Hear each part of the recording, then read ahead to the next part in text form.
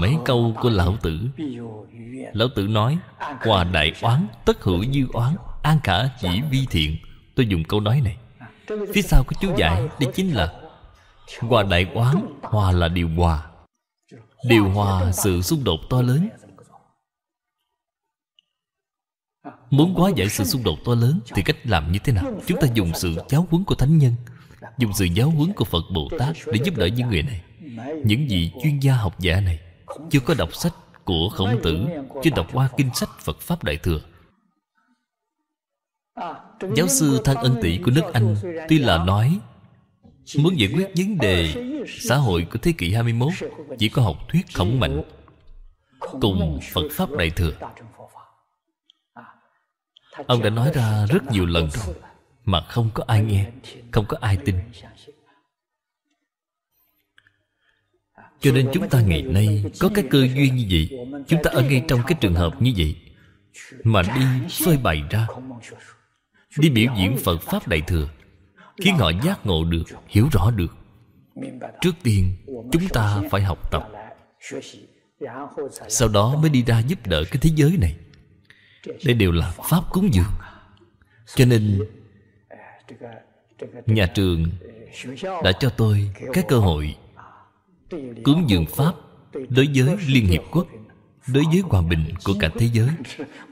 Tôi có được cái cơ hội lần này, tôi liền tùy duyên. Cho nên tùy duyên mà làm. Nếu không có cái cơ hội này thì tôi sẽ không làm. Vì có cái cơ duyên như vậy nên tôi đi làm cái việc này. Cho nên cúng dường phải học, phải nên học. Bất luận là tài cúng dường, pháp cúng dường hay vô úy cúng dường, chúng tôi ngày ngày đều gặp phải ngày ngày đều tu.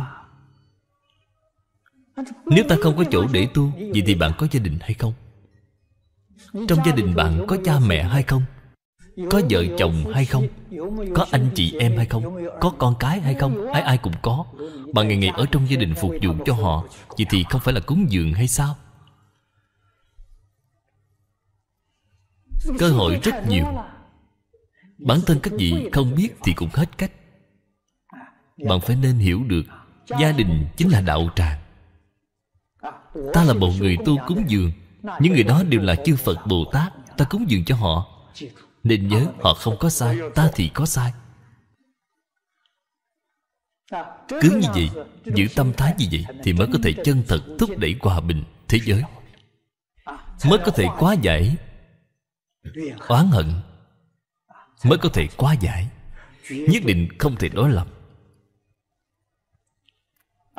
đặc biệt là trên Kinh Đại Niết Bàn Đã có nói rất rõ Câu chuyện bị vua ca lợi cắt xẻ thân thể Là ở trong Kinh Đại Niết Bàn. Trên Kinh Kim Cang là dẫn dụng ra. Cho nên bạn muốn biết tình trạng câu chuyện rõ ràng nhất Thì bạn hãy đi xem Kinh Đại Niết Bàn. Đó là cho chúng ta một tấm gương rất tốt. Cho nên việc cúng dường này Thì nhất định phải nên hiểu, Nhất định phải tu. Mỗi ngày đều nên chăm chỉ mà làm. Tu phước, tu huệ. Đều tại một câu, bốn chữ, quy y cúng dường này. Chân thật là tu phước, tu huệ. Phía sau thì nói là nại chí, năng pháp nhất niệm, tình tính.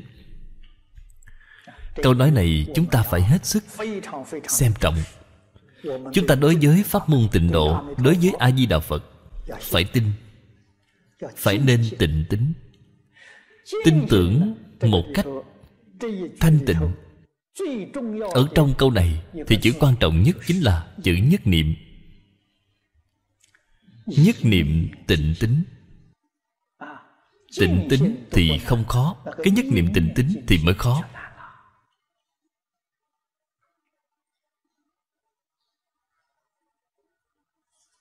Cái gì gọi là nhất niệm tịnh tính?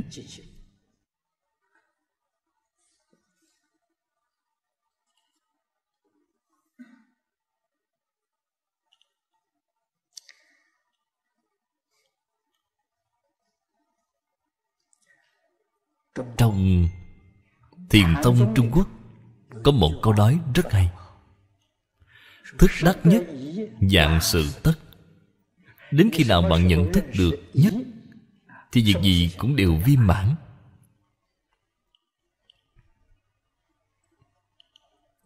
Lời nói này, nó rất hay, nó rất viên mãn, nó rất triệt để. Cái gì gọi là viên mãn vậy? Chứng được vô thượng chánh đẳng bồ đề thì mới gọi là viên mãn. Do đây mà biết, nếu bạn chân thật nhận thức được nhất, thì bạn thành phật. Bồ tát làm không được. Nhất nghĩa là gì? Là nhất tâm. Nhất chân pháp giới. Trong những lúc giảng kinh, chúng tôi đã nói qua không ít lần. Nhất tâm là năng chứng, là năng nhập.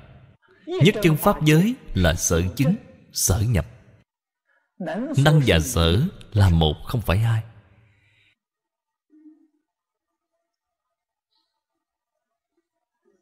Cho nên ở trong vũ trụ chỉ có nhất mới là thật. Nhị thì đã biến thành hư vọng rồi. Nhất là như như bất động. Là chân như tự tánh. Nhị thì rơi vào trong khởi tâm động niệm. Vừa khởi tâm động niệm thì rơi vào trong nhị tam rồi nhị tam là cái gì? Là đem chân như bổn tánh của bạn chuyển thành tám thức. 51 tâm sở.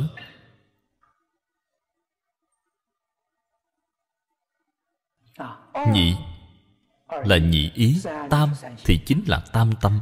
Tam tâm chính là ý thức. Mạc na và A lại gia Gọi là tam tâm. Nhị ý thì chính là mạc na và ý thức. Mạt na gọi là ý căn, Là ý thức, Tam tâm nhị ý này. Do động niệm Thì biến thành tam tâm nhị ý, Không động niệm thì là nhất. Bạn xem cái ý của nó sâu đến cỡ nào. Nhất niệm tịnh tính. Cho nên câu nói này Là sự cứu cánh viên mãn.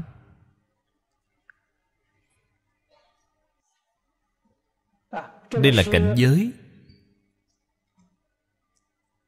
Ở trên quả địa như Lai, Pháp thân Bồ Tát Vẫn còn đang nỗ lực. Vẫn còn đang không ngừng nâng cao.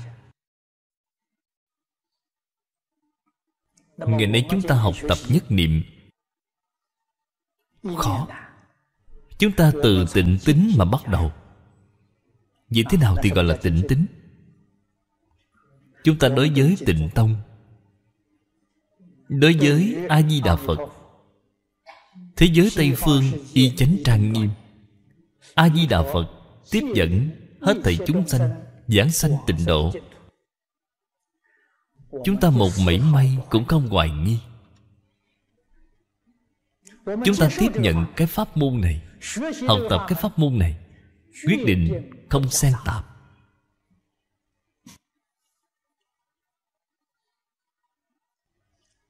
Bởi vì đến phần sau cùng, thì thế tôn vì chúng ta, phương pháp giảng sanh. Ở trong cái phương pháp giảng sanh, thì một câu nói quan trọng nhất là phát bồ đề tâm nhất hướng chuyên niệm. Chính là nhất niệm tịnh tính mà ở chỗ này đã nói. phát bồ đề tâm là nhất niệm. nhất hướng chuyên niệm là tịnh tính. Cổ Đại Đức dạy bảo chúng ta Không hoài nghi Không xen tạp Không gián đoạn. Cách dạy như vậy Thật sự là Tam căn phổ bị lợi độn toàn thâu. Chúng ta sẽ có phần. Cách nói như vậy Đều là căn cứ vào Cách nói của Đại Thế Chí Bồ Tát. Chúng ta phải nên biết, lão cư sĩ hạ liên cư ở trong tịnh tu tiệp yếu Có lẽ có đồng tu đã xem qua quyển sách này rồi. Trong quyển tịnh tu tiệp yếu Nói sơ tổ tịnh tông. Là Đại Thế Chí Bồ Tát. Ban đầu khi tôi mới xem Thấy câu nói này Tôi đã sợn gai ốc. Thật hiếm khi Ngài một lời thông suốt như vậy Chúng ta nghĩ không ra nổi, Nó cũng không ra nổi. Nhưng mà Ngài nói thì tôi hiểu.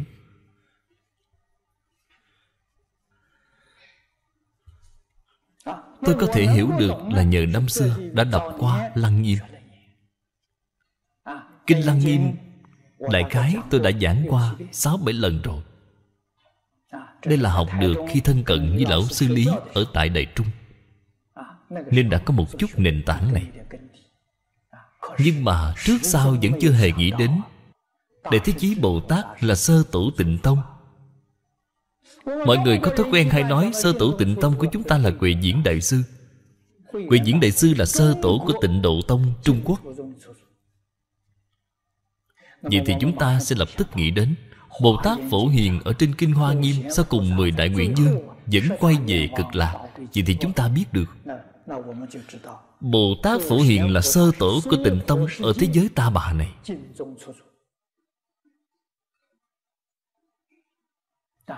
Đây là xem thấy ở trên hội Hoa Nghiêm. Vậy là thế giới Bồ Tát Là sơ tổ tịnh tông, Tận hư không khắp pháp giới. Cho nên khi vừa mới xem, Thì tôi liền nghĩ đến ba vị sơ tổ Khi đó tôi đang ở Mỹ. Khi lão cư sĩ Hoàng Niệm Tổ Và tôi quen biết nhau, Ông nói với tôi, Pháp sư tịnh không, Hãy đến Mỹ mà làm sơ tổ đi. Ông nói tôi đến Mỹ để truyền tịnh độ tông, Xây dựng tịnh tông học hội ở khắp nơi. Ông nói tương lai tôi sẽ là sơ tổ tịnh tông của nước Mỹ. Cho nên từ sơ tổ tịnh tông này Chúng ta phải hiểu. Đại Thế Chí Bồ Tát là gì sơ tổ căn bản. Là vì sơ tổ biến pháp giới hư không giới. Người dạy chúng ta phương pháp Niệm Phật. Chính là một câu sau cùng. Đô nhiếp lục căn, Tịnh niệm tương kế. Chính là tám cái chữ này. Tám chữ này thật là quá quan trọng. Đô nhiếp lục căn, Ở chỗ này chúng ta nói chính là Quy y cúng dường Đô nhiếp lục căn Đem cái tâm thâu nhiếp thở lại.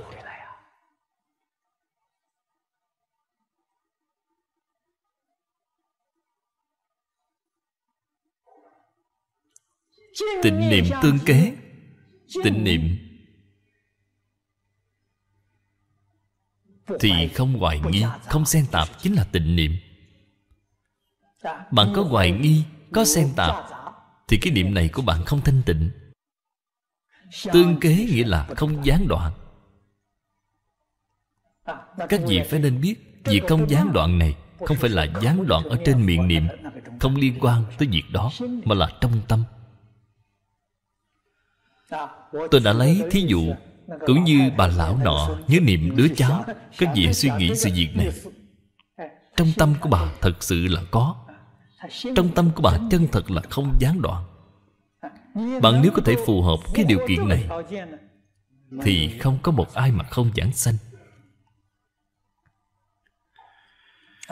Còn như giảng sanh phẩm gì Cao hay thấp, Thì phải xem bạn niệm Phật Công phu sâu hay cạn sự sâu cạn này không phải là nói bạn mỗi ngày niệm được bao nhiêu câu Phật hiệu, Không phải như vậy. Không nói sự việc này Là nói bạn khế nhập cạn hay sâu. Bạn buông bỏ được bao nhiêu? Thật sự có thể buông bỏ được, Chân thật có thể khế nhập. Sâu cạn là nói từ cái chỗ này. Đây gọi là nhất niệm tịnh tính.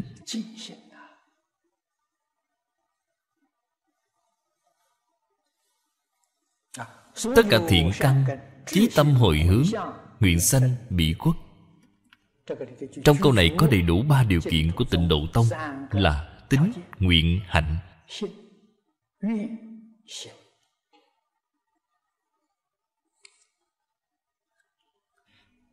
Cho nên bạn nhất định phải nên ghi nhớ.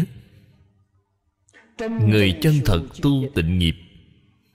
Người tu tịnh nghiệp là phước huệ song tu phước huệ viên mãn. Không những là viên mãn mà là cứu cánh viên mãn.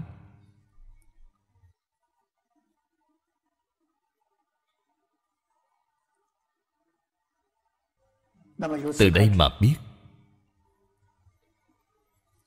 đoạn thập ác tu thập thiện. Việc này thì nhất định không thể thiếu. Ở trong giai đoạn trước mắt của chúng ta từ sớm thức dậy, cho đến đêm tối đi ngủ. Sáng sớm thức dậy, phải nhắc nhở chính mình. Cho nên khóa sớm là nhắc nhở mình. Khóa tối là phản tỉnh. Ta trong một ngày hôm nay có trái nghịch điều gì? Với sự giáo huấn của phật đà hay không? Thập ác, ta có phạm hay không? Thập thiện thì ta có tu hay không? Đây mới thực sự là đang làm công khóa sớm tối. Loại thời khóa sớm tối này là công phu chân thật. Cho nên phải tu cái thiện căn của chính mình, đoạn ác tu thiện. Niệm phật là tu định. Đọc kinh, nghe kinh là tu huệ chúng ta mỗi ngày niệm niệm đều ở trong giới định huệ. Ngày ngày đều không ngừng quân tu giới định huệ. Đây mới có thể có được thành tựu. Dùng cái tâm này, cái thiện căn này, chí tâm hồi hướng. Chí tâm chính là nhất tâm. Nhất tâm mới có thể biến pháp giới hư không giới. Vì sao vậy? Trong tâm của bạn không có phân biệt, không có chấp trước, không có khởi tâm động niệm, thì tâm này là bằng với hư không, pháp giới. Nếu như có phân biệt chấp trước, thì tâm này của bạn nhỏ. Nói một cách khác, thì tâm của bạn phạm vi của nó rất có hạn cho nên buông bỏ vọng tưởng phân biệt chấp trước. Một ý niệm ý niệm này là bằng với hư không khắp pháp giới.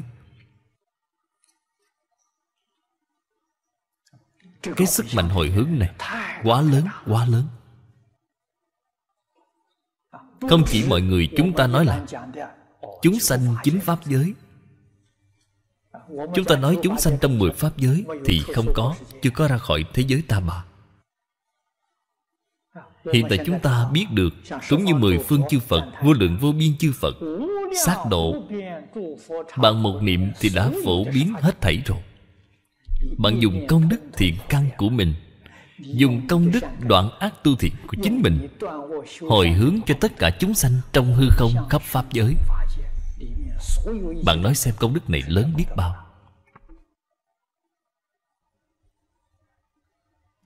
Mỗi một người chúng ta đều có thể làm được. Vấn đề chính là bạn có hiểu hay không? Có biết hay không? Thật sự hiểu. Thật sự biết làm rồi. Không nên cho rằng chúng ta trong hiện tại Không có cái cơ duyên này, Không có tu hành thù thắng như chư tổ sư đại đức ngày trước. Chúng ta như thế nào Thì cũng không sánh được với họ. Vậy thì sai rồi. Cơ duyên của chúng ta thực tại mà nói Thì tuyệt đối không thua kém họ. Tôi còn dám nói Là duyên phần của chúng ta thù thắng hơn họ. Vì sao vậy? Vì họ không phải thời loạn thế. Không có gặp phải nhiều khổ nạn đến như vậy. Nếu họ gặp phải cái hoàn cảnh giống như chúng ta hiện tại, Thì e rằng cũng có rất nhiều người sẽ bị đào thải mất. Chúng ta ở trong hoàn cảnh hiện tại này, Thành tựu được như vậy, Thì vượt hơn cả họ.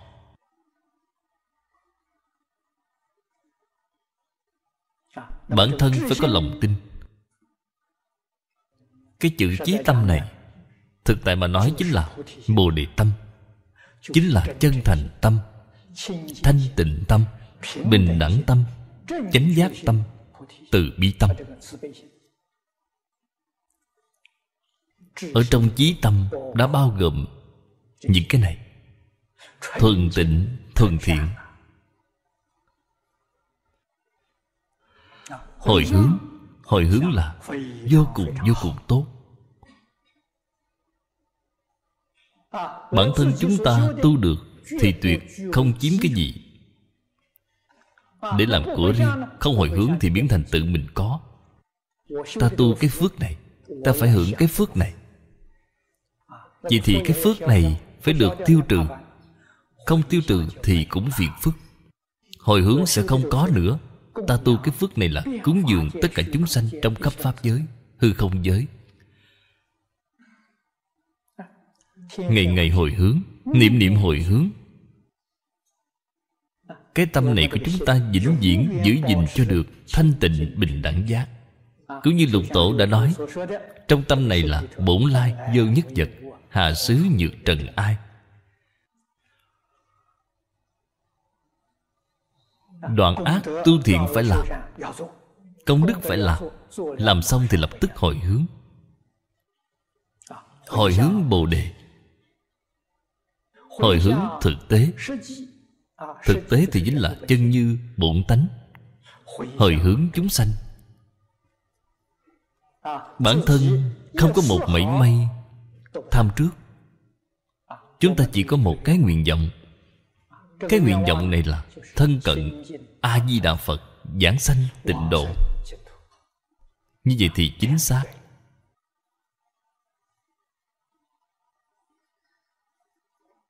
Thân cận a di đà phật, giảng sanh tịnh độ thì cũng không nên lo lắng. Vẫn là tùy duyên. Bạn quyết định giảng sanh bạn chân thật có nắm chắc không? Hiện tại bạn vẫn chưa đi. Bạn dội vàng muốn đi Vậy thì không được. Dội vàng muốn đi thì phan duyên. Sự dội vàng đó là phân biệt chấp trước. Trái lại còn đi không được. Cho nên không thể lo lắng Sốt ruột. Hầu hết người giảng sanh trong đó Có hai cái duyên Một cái là Bản thân bạn Nghiệp vẫn chưa tiêu trừ hết. Nghiệp báo của bạn Thân nghiệp báo của bạn Thân nghiệp báo tiêu tận Thì thọ mạng của bạn sẽ hết. Vào lúc này thì duyên của bạn thành thục rồi. Một loại khác nữa. Cho dù nghiệp báo của bạn tiêu hết rồi Thọ mạng của bạn khi hết rồi Thì là thọ mạng học Phật tăng trưởng thì nó sẽ kéo dài thêm. Kéo dài thì bạn sẽ có việc để làm. Trên thực tế mà nói, đây chính là trong nhà phật từng nói là thường nguyện tái lai. Bạn không cần đến thế giới cực lạc rồi mới quay trở lại. Hiện tại nghiệp lực của bạn tiêu rồi. Nếu nguyện lực sanh ra, vậy thì chính là thường nguyện tái lai. Nghiệp lực tiêu rồi thì bạn cũng nên đi giảng sanh nhưng mà bạn vẫn không giảng sanh, bạn vẫn tiếp tục ở lại thế gian vài năm nữa. Thời gian ở lại dày hay ngắn, không phải là bản thân mình quyết định, là do duyên quyết định. Chúng sanh ở thế gian này còn có duyên với bạn. Thì sống thêm thời gian nữa, chưa có duyên vậy thì đi sớm một chút. Cho nên bồ tát ở tại thế gian này, nếu duyên không còn nữa thì họ liệt đi ngay. Họ đến và đi rất tự do. Nhất định phải hiểu được cái đạo lý này, hiểu được lý rồi thì bạn sẽ không còn lo lắng nữa. Lo lắng là phiền não. Tôi muốn được đi sớm một chút Thì đây là phiền não. Đi không được, Trái lại còn bị chướng ngại. Hết thảy đều tùy duyên. Ở trong tất cả cảnh giới, Phải học như như bất động. Nước chảy thành sông. Đây là hoàn mỹ nhất.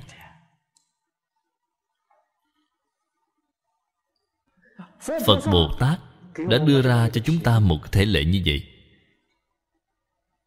Tôi đã nói với các vị đồng học rất nhiều Mà cũng nói rất rõ. Khi tôi còn trẻ tuổi Coi tướng đoán mạng Đều nói tôi sống không quá 45 tuổi. Tôi năm nay 75 tuổi rồi. Thọ mạng sau 45 tuổi Thì không phải là trong số mạng có sẵn. Tôi năm 45 tuổi đã chết rồi. Sau năm 45 tuổi là thường nguyện tái lai. Vì chúng sanh mà sống, Không phải là vì chính mình nữa, Chúng sanh có phước. Thì vẫn còn cái thân thể này, Sẽ giúp mọi người làm thêm một ít việc tốt. Hết thảy là vì chúng sanh, Không có cái gì là của mình. Niệm niệm gì chúng sanh. Buổi tối đi ngủ Cũng là vì chúng sanh.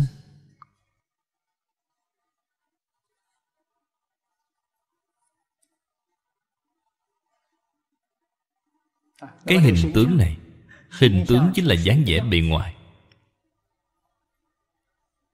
Người Trung Quốc thì gọi là bản mẫu.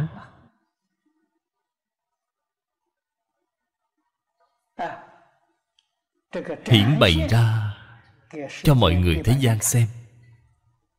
Bạn cảm thấy như vậy là tốt Như vậy thì tu được. Không phải là do nghiệp lực thành tựu cái dáng vẻ này do tu mà được. Bạn phải thật sự có thể y giáo phụng hành. Như Pháp mà tu hành Thì bạn có thể đạt được. Tiền tài. Có vô lượng tiền tài Không phải vì chính mình. Chính mình mỗi ngày vẫn là ăn rau, cải, đậu hũ. Ăn mặc ngủ nghỉ Đều không mảy may cầu kỳ. Hết thảy đều tùy duyên. Tiền tài Phải nên vì chúng sanh mà làm việc. Thường xuyên có người tặng tiền cho tôi. Ai tặng thì tôi không biết. Tặng cho tôi Thì họ biết mã số tài khoản ở ngân hàng. Họ chuyển vào trong đó. Không biết là ai chuyển nữa. Bình thường mọi người cúng dường cho tôi. Thì các vị đều biết tôi liền đem bố thí. Chỉ có gửi vào trong ngân hàng, Lại không biết ai gửi Vậy thì hết cách. Đành phải nhận thôi. Nhận để làm việc hữu ích. Tiền nhiều thì làm nhiều, Tiền ít thì làm ít. Không có tiền thì càng tốt, Không có tiền thì tôi cũng không phải làm gì hết.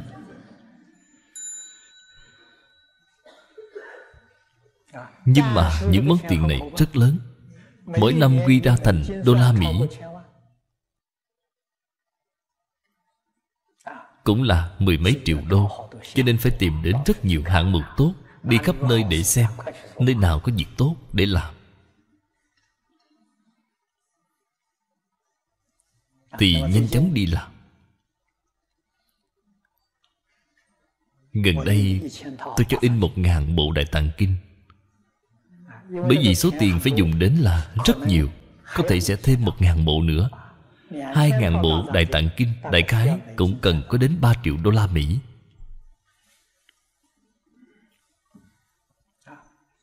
Gửi đi các đạo tràng ở khắp nơi trên thế giới. Chúng tôi đề xướng, Đọc tụng kinh điển. Đề xướng nghiên cứu giáo nghĩa. Giới định huệ tam học Phải một lần hoàn thành. Mục tiêu sau cùng nhất định không thể quên đi Là nhất định phải nguyện sanh bị quốc Thì bạn mới có thể chân thật chứng được Cứu cánh viên mãn. Tùy nguyện giai sanh, Giai đắc bất thối. Sanh đến thế giới Tây Phương cực lạc, ngay trong một đời nhất định chứng được vô thượng, chánh đẳng, chánh giác. Đây chính là phật quả cứu cánh viên mãn. Hy vọng đồng học chúng ta sẽ phát cái nguyện này tương lai người người đều đến thế giới tây phương cực lạc. Đến bên đó rồi thì mọi người chúng ta vẫn còn có thể gặp mặt. Em trai của ông đã nhảy lầu tự sát. Ở phía bên đối diện với chỗ của chúng ta, cũng có người nói với tôi, ở nơi này đã từng xảy ra hai ba sự việc như vậy. Người học phật chúng ta biết được. Tự sát thì họ nhất định sẽ tìm người thế thân nếu là họ tìm người thế thân, thì sự việc sẽ liên tục không ngừng phát sinh. Cho nên cần phải siêu độ cho họ. Cư sĩ lâm ở đối diện với bên đó.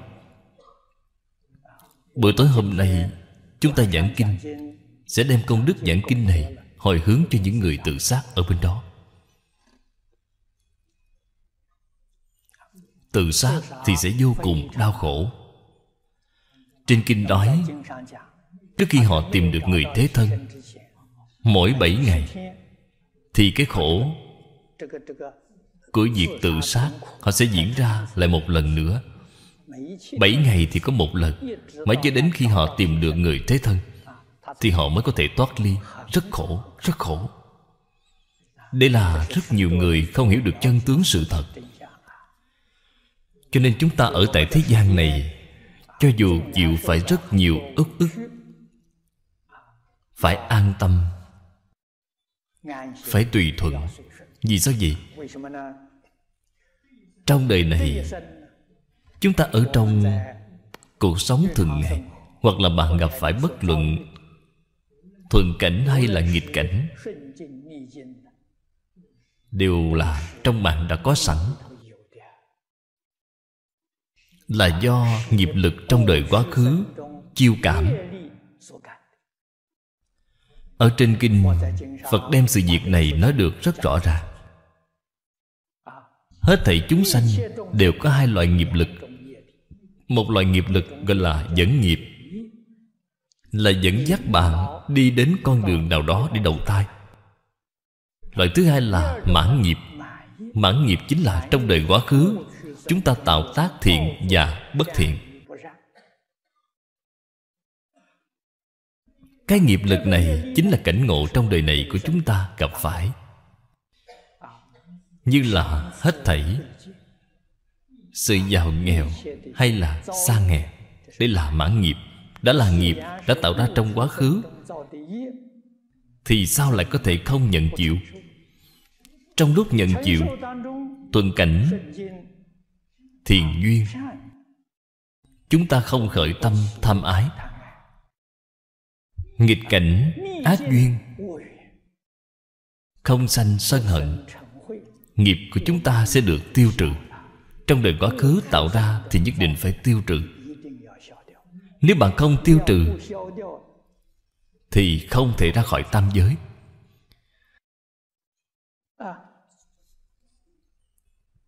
Tu học pháp môn niệm phật là đới nghiệp giảng sanh. Chúng ta cũng hy vọng cố gắng hết sức để ít mang một chút, cho nên có cơ duyên để tiêu trừ, vậy là việc tốt, không phải là việc xấu. Càng là sự việc khó nhẫn mà bạn có thể nhẫn, thì bạn tiêu trừ được càng nhiều. Tiêu được càng nhanh. Việc này phải nên biết. Bất luận là bị sự sỉ nhục dày dò như thế nào? Hết thảy đều là tiêu nghiệp chướng của chính mình. Gặp phải hoàn cảnh như thế nào? Hết thảy đều buông xuống, cái gì cũng không nên nghĩ đến, nhất tâm niệm phật cầu sanh tịnh độ. Ngày nào được giảng sanh, Thì Phật Bồ Tát sẽ an bài, Không cần đến chúng ta phải bận tâm, Cũng không cần phải lo lắng. Cái gọi là công phu đạt rồi Thì tự nhiên sẽ thành tựu. Trong phẩm kinh này đã nói, Nó quan trọng hơn bất cứ thứ gì. Phía trước, Chúng ta đã đọc qua Thập phương Phật tán. Phẩm kinh văn này rất quan trọng. Nếu như không có mười phương giới thiệu Chúng ta làm sao biết được có thế giới cực lạc? Làm sao mà biết được có A-di-đà Phật? Cho nên người giới thiệu Không phải là người khác. Là mười phương chư Phật Như Lai. Đây là chúng ta nhất định phải xem rõ ràng, xem minh bạch. Không phải do a la hán giới thiệu không phải bồ tát giới thiệu, là chư phật như lai giới thiệu. Không phải một vị phật, mà là mười phương ba đời tất cả chư phật. Việc này có thể giả được hay sao? Sự việc như vậy, chúng ta gặp được rồi mà không tin, vậy thì bạn còn tin cái gì? Hết thảy chư phật đến để tiến cử giới thiệu. Bạn không tin vậy thì bạn tin cái gì chứ? Vì thế ở chỗ này Là đáng để cho chúng ta Tin cậy. Sau khi nghe xong rồi Thì phải nên phát tâm. Biết được Ở trong vũ trụ này Có một nơi tốt đến như vậy Để tu hành. Tôi thường hay gặp phải việc Rất nhiều đồng tu Viết thư cho tôi. Họ phát tâm hướng xuất gia. Đến thế giới Tây Phương cực lạc Để xuất gia thì tốt. Ở thế gian này xuất gia đều không dễ dàng gì. Thành tựu. Vì vậy chúng ta một lòng một dạ. Bất luận là tại gia hay xuất gia Đều như nhau. Chỉ cần bạn chí tâm, nguyện sanh Thì bạn nhất định được sanh.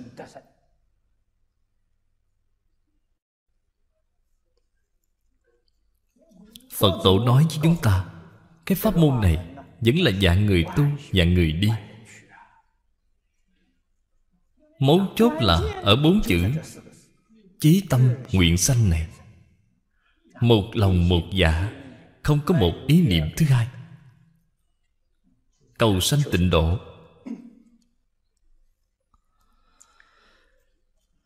Phàm phu Dẫu sao cũng là phàm phu. Tuy là Có cái duyên phận thù thắng như vậy. Nghe được chư Phật Như Lai Giới thiệu tiến cử cho chúng ta. Nhưng mà Mỗi một người chúng ta, Đích thực là Tính nguyện Có sâu cạn không như nhau. Có người vừa nghe, Liền tin sâu không y có người thì sau khi nghe xong, Liền bán tính bán nghi. Người người đều không như nhau. Chúng ta từ những Người trong quá khứ, Người thuộc đời trước, Nói với chúng ta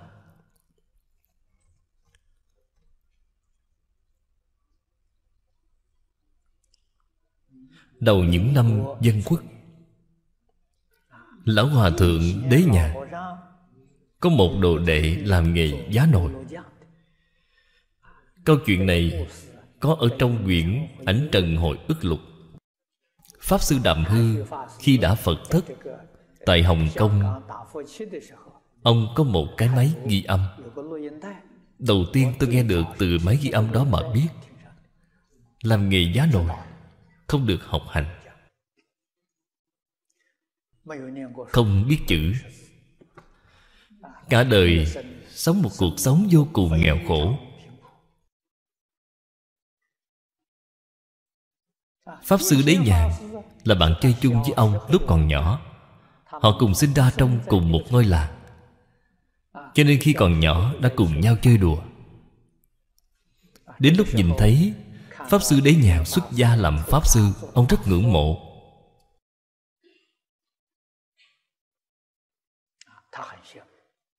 Cho nên, ông đã tìm đến Pháp sư Đế Nhàn Yêu cầu được xuất gia. Pháp sư Đế Nhàn Đây là người bạn khi còn nhỏ. Liền khuyên ông không nên xuất gia. Vì sao vậy? Tuổi tác đã cao rồi. Bốn mươi mấy tuổi rồi.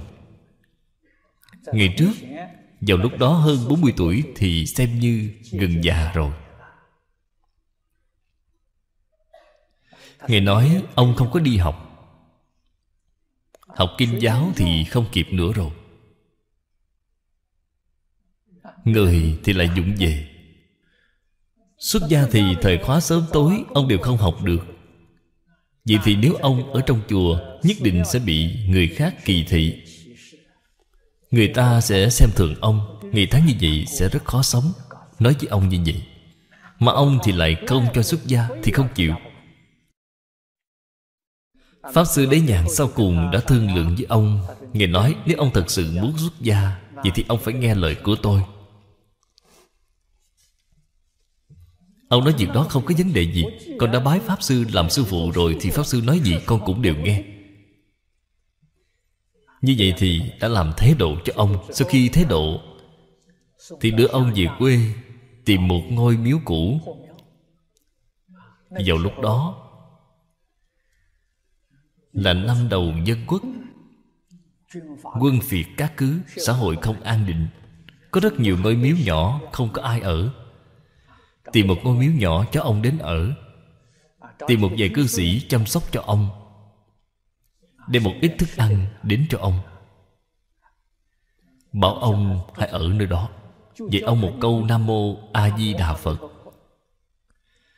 Nói với ông Ông một ngày từ sớm đến tối Hãy niệm một câu Phật hiệu này. Niệm mệt rồi thì ông nghỉ ngơi. Nghỉ ngơi khỏe rồi thì nhanh chóng niệm tiếp. Ông chân thật biết nghe lời. Phương pháp này rất hay, Không có áp lực. Niệm được hơn 3 năm, Thì công phu của ông thành tựu. Đứng mà giảng sanh. Đây là người cách chúng ta thời gian, Cũng không lâu, Cũng chẳng qua chỉ là sự việc cách đây Bảy, tám mươi năm trước. Là việc có thật không phải là giả. Con người này là có lòng tin sâu. Ông có thể tin sâu. Ông không hoài nghi một chút nào. Lão sư dạy ông như thế nào? Ông thực sự làm như thế đó. Lão Hòa Thượng Đế Nhà Ba ngày sau đó mới đến ngôi miếu này Để làm hậu sự cho ông, Vô cùng tán thán. Nghe nói, Thiên hạ, Nói thiên hạ chính là nói đất nước Trung Hoa. Pháp sư giảng kinh thuyết Pháp Không ai bằng ông.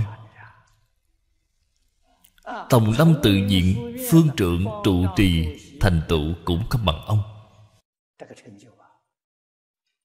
Sau khi giảng sanh, Đã đứng như vậy suốt ba ngày.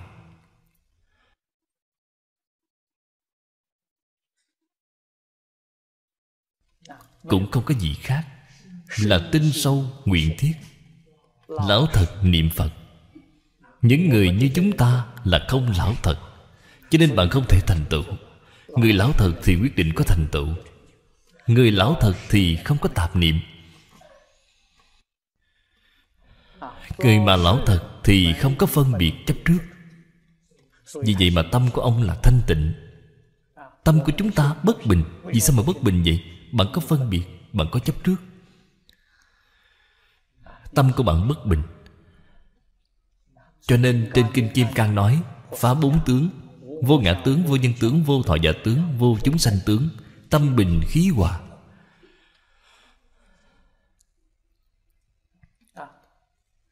Thuận cảnh thiện duyên Không động tâm. Nghịch cảnh ác duyên cũng không động tâm. Tâm của ông là định. Tâm của người thợ giá nồi này là định. Ba năm không phải là thời gian rất dài. Ông đã thành tựu. Thành tựu một cách thù thắng như vậy. Ông biết trước ngày giờ ra đi.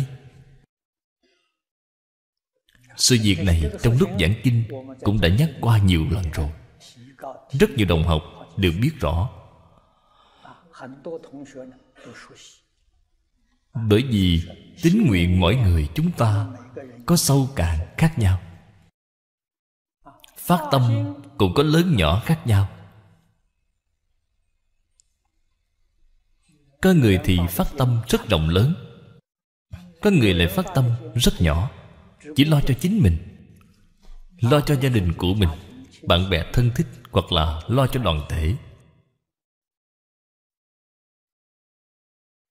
Có một số người chân thật phát tâm. Có thể nghĩ đến Rất nhiều rất nhiều chúng sanh Khổ nạn ở thế gian này. Tâm lượng như vậy thì lớn rồi.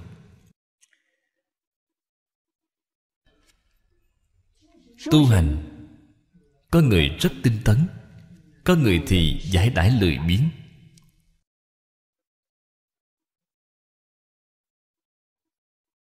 Trì tụng Trì danh Tụng kinh, Có như Pháp, Có không như Pháp như Pháp là nhất tâm chuyên chú. Đây là như Pháp. Không như Pháp Là đọc kinh nghe kinh Mà vẫn khởi vọng tưởng. Đây chính là bất như Pháp. Cho nên, Người học Phật thì rất nhiều, Nhưng thật sự là thiên sai dạng biệt. Tình trạng mỗi người đều không như nhau. Đây là nói hiện tiền. Lại nói sâu thêm nữa, Thì thiện căn phước đức nhân duyên của mỗi người. Trong đời quá khứ đều không như nhau.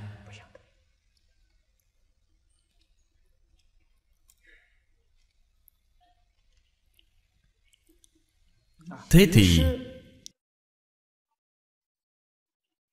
Phẩm vị giảng sanh Sẽ có sự sai khác rất lớn.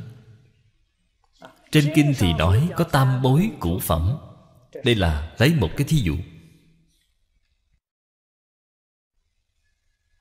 Tam bối.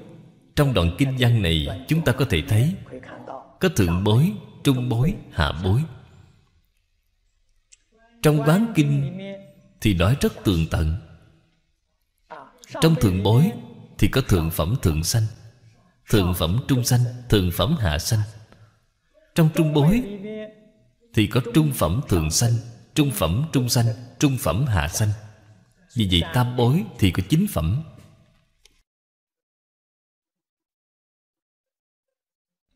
Phật nói đến chỗ này. Vậy thì được rồi. Chúng ta liền hiểu được. Liền biết suy ra Một mà ba. Ở trong chính phẩm Thì mỗi một phẩm Vẫn có thượng trung hạ Ba lần chín là 27 27 phẩm đó Thì trong mỗi một phẩm lại có thượng trung hạ Cái đạo lý này phải nên biết. Cho nên phẩm loại sai biệt rất lớn. Phật giới thiệu cho chúng ta. Chỉ nói giảng lược, Đại khái mà thôi. Tỉ mỉ hơn nữa Thì bản thân chúng ta Có thể thể hội được. Chú giải của Đại Đức xưa Cũng đã chú giải cho chúng ta rất hay. Thí dụ như Trên quán kinh nói chính phẩm Mỗi phẩm trong chín phẩm Lại có chín phẩm, Vậy thì 9 lần 9 là 81 Nếu như suy diễn rộng ra mà nói, Thì số phẩm vị này là vô lượng vô biên. Trong vô lượng vô biên phẩm bối, Chỉ nói Tam bối.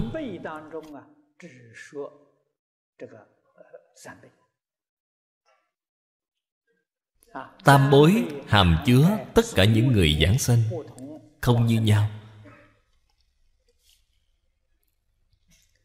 Nhân duyên giảng sanh,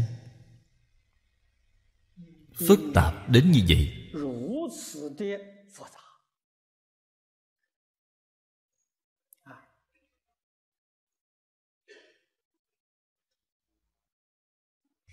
Sự sai biệt khác xa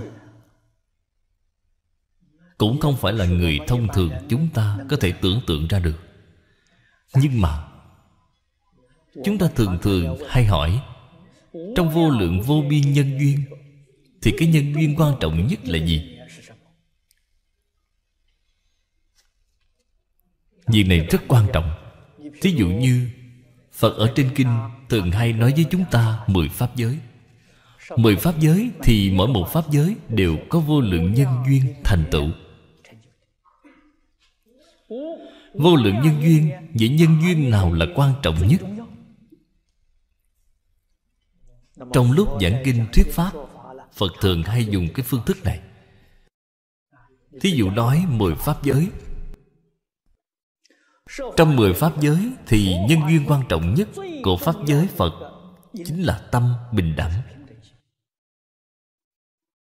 Bình đẳng là Phật. Vô lượng nhân duyên, Thành tựu Phật quả. Đây là nhân thứ nhất. Tâm của chúng ta thường thường bất bình. Bất bình thì rất phiền phức. Cho nên, nếu bạn chân thật muốn cầu Thành Phật chi đạo, Vậy thì phải tu cái gì Ở trong hết thầy cảnh duyên? Tu tâm bình đẳng. Tâm bình đẳng là trực tiếp thành Phật. Nhân thứ nhất của Bồ Tát là lục độ. Nhân đầu tiên của Bích Chi Phật là thập nhị nhân duyên. Nhân đầu tiên của A-la-hán là tứ đế. Nhân thứ nhất của thiên nhân là Tứ vô lượng tâm Thượng phẩm thập thiện. Nhân đầu tiên của nhân đạo là ngũ giới. Nhân đầu tiên của súc sanh đạo là ngu si. Nhân đầu tiên của ngạ quỷ là tham ái. Tâm tham ái thì làm ngạ quỷ. Nhân đầu tiên của địa ngục là sân hận. Đây là Phật nói nhân đầu tiên với chúng ta. Ngày nay chúng ta muốn cầu sanh Tây Phương tịnh độ.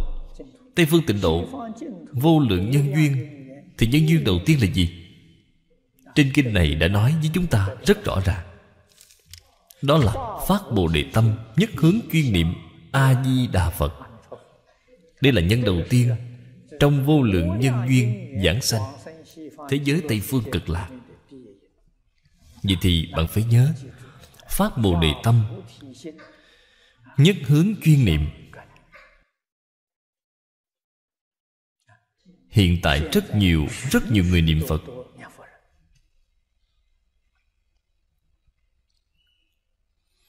Niệm cả một đời Mà không thể giảng sanh. Đây là nguyên nhân gì?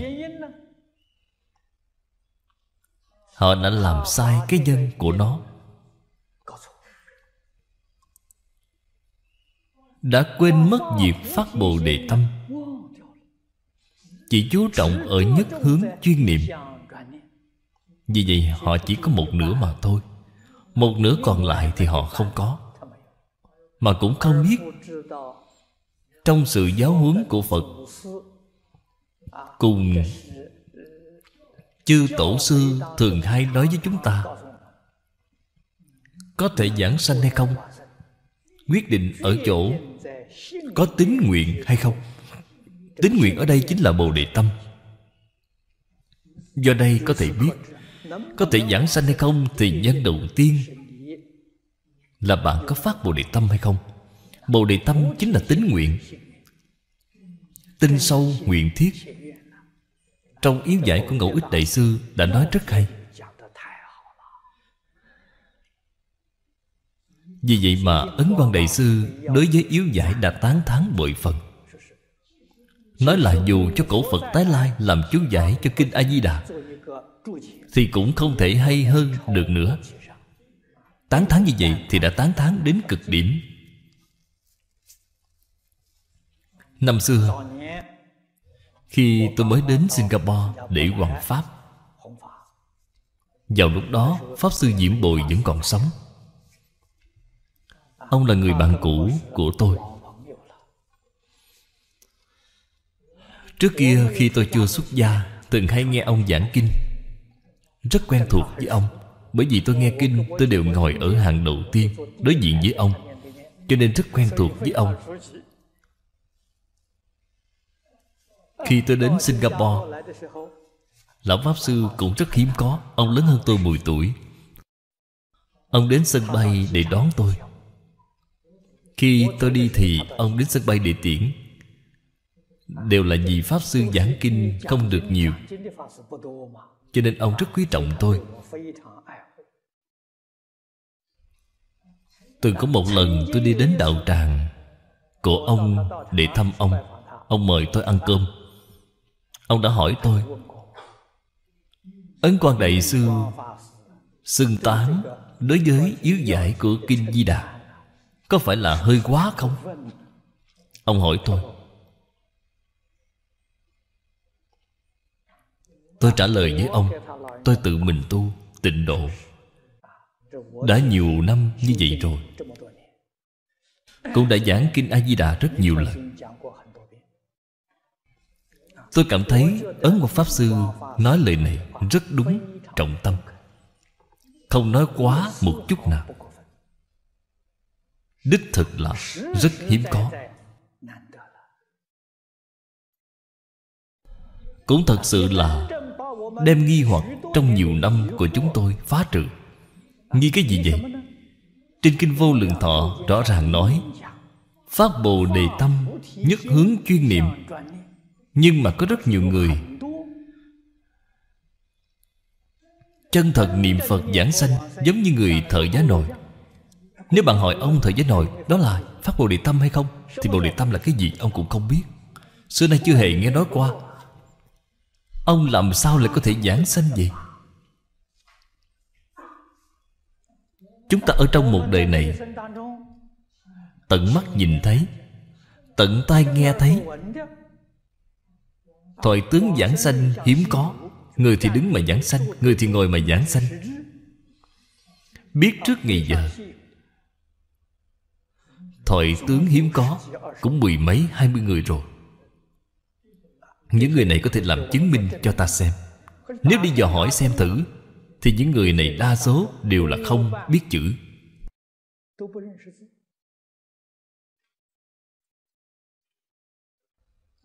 Lại dò hỏi hành nghi của họ, Đều là người tốt. Con người họ vô cùng lương thiện tự bi. Đây là người tốt chân thật trong xã hội này. Nhưng mà không biết chữ. Rất nhiều người còn chưa nghe qua kinh điển. Người ta dạy họ niệm Phật, Họ liền lão thật mà niệm Phật. Họ niệm hai, ba năm thì thật sự đã thành công. Vì vậy chúng ta cảm thấy Cái pháp Bồ Đề Tâm Nhất hướng chuyên niệm này, Đại khái họ chỉ có nhất hướng chuyên niệm Chứ không có pháp Bồ Đề Tâm. Sau khi đọc xong Yếu giải Kinh A-di-đà Của Ngọc Ích Đại Sư thì mới bỗng nhiên ngộ ra, Thì ra tin sâu nguyện thiết. Chính là vô thượng Bồ Đề Tâm. Đây là ngẫu Ích Đại Sư đã nói.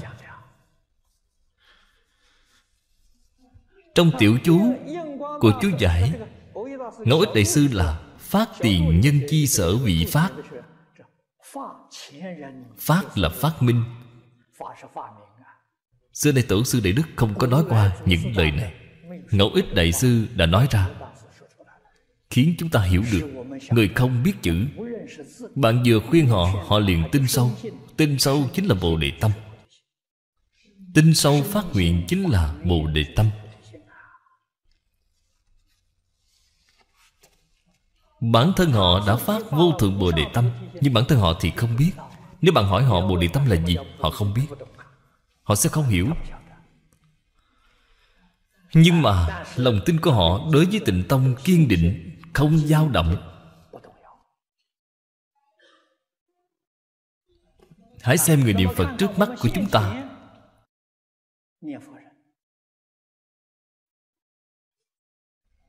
Tôi nhìn thấy rất nhiều.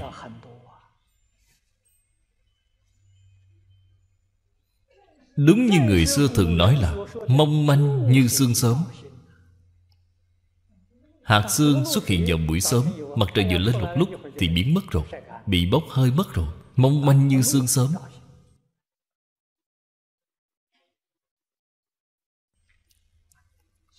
Nghe ai đó nói,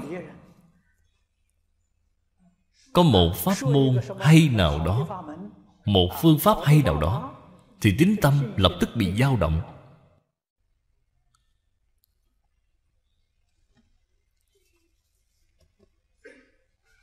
Hiện nay nghe nói, Tại Đại Lục, Có một vị Pháp Sư trẻ tuổi Tuổi tác cũng không lớn. Đề xướng ngũ hội niệm Phật. Nói niệm Phật 10 triệu câu Thì có thể chứng được Tam thân Phật quả. Niệm 10 triệu câu. Mười triệu câu thì không khó. Một ngày niệm mười giảng câu. Mười ngày thì được một triệu câu Không cần tới một năm. Họ đến hỏi tôi Tôi nói các vị hãy thử nghiệm đi xem sao. Sau khi niệm được 10 triệu câu Chưa cần tới thời gian một năm Sẽ bạn có chứng được tam thân Phật hay không? Nếu như không được Thì đó là giả Thì không phải là thật.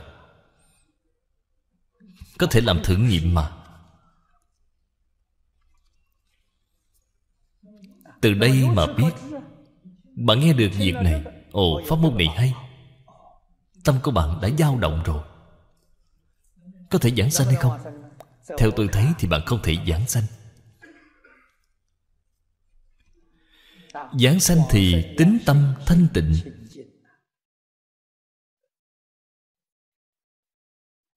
Nguyện tâm kiên cố. Loại người này khẳng định là giảng sanh. Cũng kiểu người một dạ hai lòng Vì thì bạn làm sao có thể giảng sanh? Làm sao lại có đạo lý này chứ? Người này nói phương pháp này là do Bồ Tát gì đó vậy, Người kia thì nói phương pháp Do Phật dạy cho tôi. Vậy thì cao hơn Bồ Tát rồi Vậy thì bạn phải làm sao? Bạn lại bỏ cái đó để đi học cái này.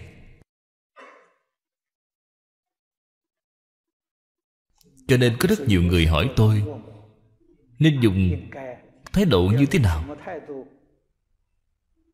Để đối diện với những người này Tôi liền nói với họ. Trước đây Chúng tôi đã từng giảng qua Quán vô lượng thọ Phật Kinh. Trong Thượng Phẩm Thượng Sanh Chương của Quán Kinh Nói được rất rõ ràng, rất thấu triệt. Thượng Phẩm Thượng Sanh Chương Chúng tôi cũng từng giảng riêng qua rồi Cũng có đĩa để lưu hành.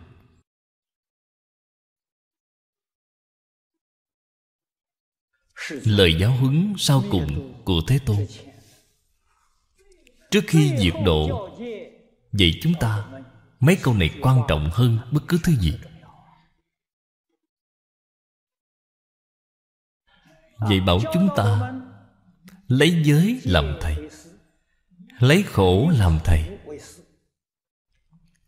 Hai câu nói này quan trọng. Là vậy chúng ta tứ y pháp Y pháp bất y nhân. Pháp là kinh điển. Phải y theo kinh điển đã nói, Chứ không phải một người nào đó truyền nói. Cái này thì không thể. Y nghĩa bất y ngữ. Chúng ta y theo những đạo lý nghĩa lý Mà trên kinh điển đã nói. Ngôn ngữ không có quan trọng. Nói nhiều, nói ít, Nói sâu, nói cạn không liên quan. Phật nói câu nói này. Dụng ý vô cùng sâu, Bởi vì Phật biết Tương lai Phật Pháp truyền đi bốn phương tám hướng. Đất nước không như nhau, Quần tộc không như nhau, Ngôn ngữ cũng khác nhau, Chữ viết cũng khác nhau, Thì nhất định cần phải phiên dịch. Phiên dịch vậy thì Sẽ gây nên sự hoài nghi. Người ta dịch ra sơ giới Kinh văn bản gốc Thì ý nghĩa có như nhau hay không? Cho nên câu này của Phật là ý nghĩa, bất y ngữ. Chỉ cần ý nghĩa đúng Thì ngôn ngữ không quan trọng, Văn tự không quan trọng, Chỉ cần ý nghĩa phải đúng. Vậy thì đã phá trừ được sự nghi hoặc của chúng ta rồi. Việc dịch kinh tại Trung Quốc Thì có rất nhiều kinh Được dịch lại nhiều lần. Thí dụ như các vị đều biết Kim Cang Bát Nhã Ba La Mật Kinh Ở Trung Quốc có đến sáu bản dịch. Nghĩa là có đến sáu người khác nhau đã phiên dịch lại. Nguyên văn thì chỉ có một quyển. Sáu quyển dịch lại, Chúng ta đem ra xem Câu văn dịch ra không như nhau, Nhưng mà ý nghĩa thì tương đồng. Vậy thì được. Tùy ý bạn y theo bản dịch nào cũng được. Bản dịch của Kinh Vô Lượng Thọ thì còn nhiều hơn. Trong lịch sử có ghi chép lại Kinh Vô Lượng Thọ Từ thời Triều Hán, Từ thời Hậu Hán Mãi cho đến Triều Tống Là 800 năm. Tổng cộng có 12 lần phiên dịch. Nhưng mà quyển Kinh Vô Lượng Thọ này, Trong lời tựa Của cư sĩ Mai Quang Hy Thì các vị có thể xem thấy. Những bản dịch này, Nội dung Sai khác rất lớn. Nhất định là Không phải cùng một bản dịch. Nghĩa là những người phiên dịch này, Quyển kinh gốc tiếng Phạn mà họ dùng Không phải cùng một quyển. Hiện tại mọi người phán đoán ít nhất Cũng có đến ba loại bản tiếng Phạn không như nhau. Ba loại không như nhau. Đây chính là nói rõ, Kinh này năm xưa Thế Tôn tại thế Đã tuyên giảng nhiều lần. Mỗi lần giảng thì mọi người ghi chép lại không như nhau. Nhiều lần tuyên giảng thì mới có cái tình trạng như vậy. Điều này rất đặc biệt. Phật thuyết hết thảy kinh Xưa nay không có giảng lại một kinh nào. Duy chỉ có kinh này Thì đã dạng phải ít nhất ba lần. Sự chênh lệch lớn nhất là gì vậy? Chính là nguyện. Số lượng của nguyện, Dù là phiên dịch như thế nào Thì cũng không thể có sự khác biệt lớn đến như vậy. Bạn xem, Bản thì 48 nguyện, Có bản thì 36 nguyện, Có bản thì 24 nguyện. Vậy thì sai khác rất lớn rồi. Việc này là không thể nào. Cho nên từ chỗ này mà đây là tuyên giảng nhiều lần. Ở tại Trung Quốc cũng được phiên dịch nhiều lần. Nhưng mà trong 12 lần dịch này Thì hiện tại chỉ còn lại được 5 loại. Trong Đại Tạng Kinh chỉ còn lại 5 loại. Bảy loại còn lại thì đã tất truyền rồi. Cho nên phải y nghĩa, bất y ngữ Để đoạn trừ đi sự nghi hoặc của chúng ta. Chúng ta phải tin tưởng Bản phiên dịch của cổ đại đức Quyết định là không có sai. Phải có cái lòng tin này.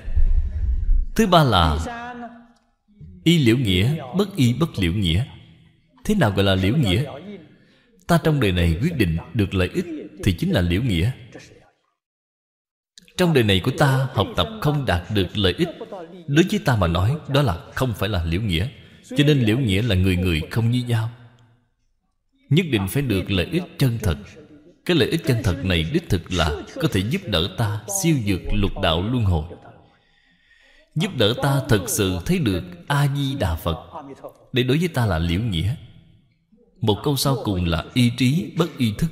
Điều này quan trọng.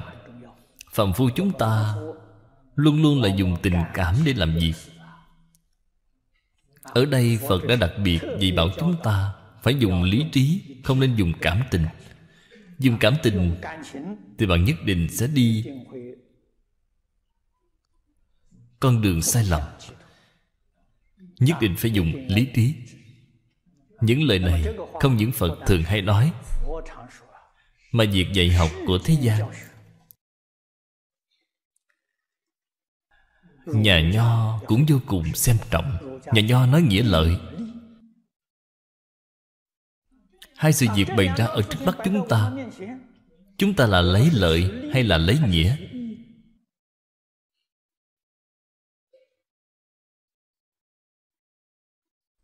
Lúc này thì nhìn thấy được Sự tu dưỡng của một người, Thấy được đức hạnh của một người.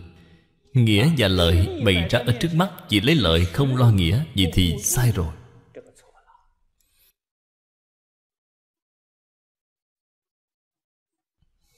Khẩu viết thành nhân Mạnh viết thụ nghĩa. Con người nhất định phải hiểu được Nhân nghĩa, đạo đức. Không thể đem lợi hại Xem là hàng đầu được. Đem lợi hại ở trước mắt đặt lên hàng đầu Nhân nghĩa thì quên đi mất. Đây là đã mất đi điều kiện của nhân đạo. Hay nói cách khác Đời sau bạn sẽ không được thân người các vị thử nghĩ xem, Thân người còn không thể được, Thì làm sao có thể thành Phật chứ? Họ làm sao có thể giảng sanh cực lạc thế giới? Đây là việc mà chúng ta không thể không biết. Cho nên phải y theo lý trí, Không thể y theo cảm tình được. Nghĩa là gì? Nghĩa chính là có nên hay là không nên cách làm này của ta là nên hay là không nên? Không nên thì không thể làm.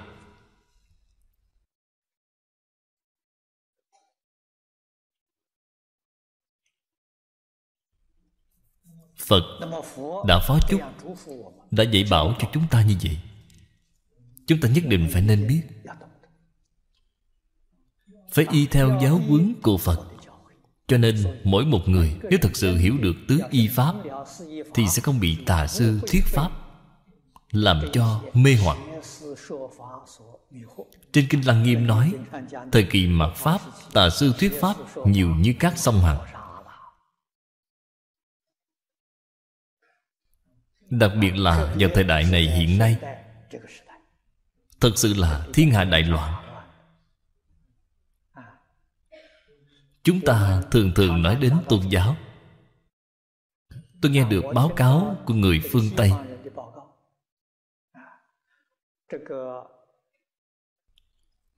Nội trong thế kỷ này, Đã có rất nhiều tôn giáo mới xuất hiện. Toàn thế giới đại khái Khoảng bao nhiêu vậy? Hơn hai ngàn tôn giáo.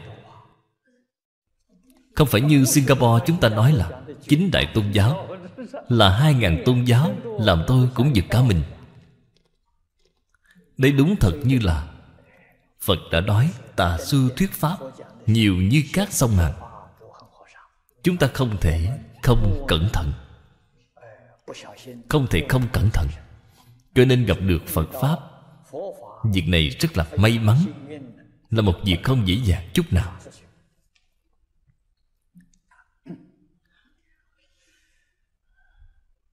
Phát Bồ Đề Tâm, Nhất hướng chuyên niệm A-di-đà Phật.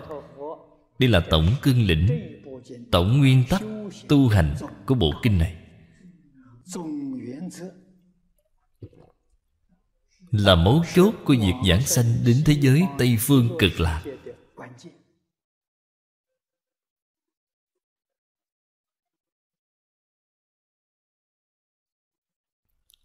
Tam bối giảng sanh Chúng ta hết thảy đều có Phật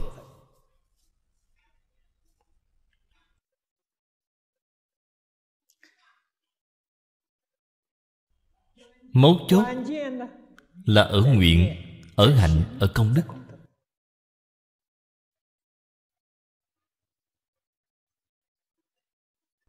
Việc này quan trọng hơn bất cứ thứ gì.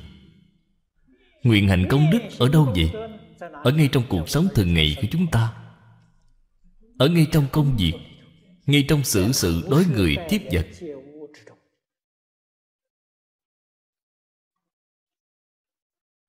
Cho nên chúng ta đối với kinh giáo, Không thể không thuộc. Chính như ở trên kinh Phật cũng thường hay nói, Vì chúng ta phải thâm giải nghĩa thú. Chúng ta hiểu đối với kinh điển mà cạn Thì không được.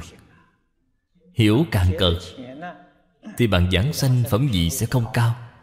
Bạn phải thâm giải, Càng thâm sâu càng tốt. Phải giải cho được thấu triệt. Cứ như vậy thì giảng sanh thế giới Tây Phương cực lạc, Phẩm vị sẽ cao. Phẩm vị cao thấp Có quan hệ rất lớn. Giảng sanh phẩm vị thấp Thì đến thế giới Tây Phương cực lạc, Chứng đến Phật quả cứu cánh, Thời gian sẽ dài. Nếu như giảng sanh phẩm vị cao, Vậy thì bạn đến thế giới Tây Phương cực lạc, Tương lai thành Phật, Thời gian sẽ ngắn. Quan trọng là ở chỗ này. Nhưng mà bất luận là cách nói như thế nào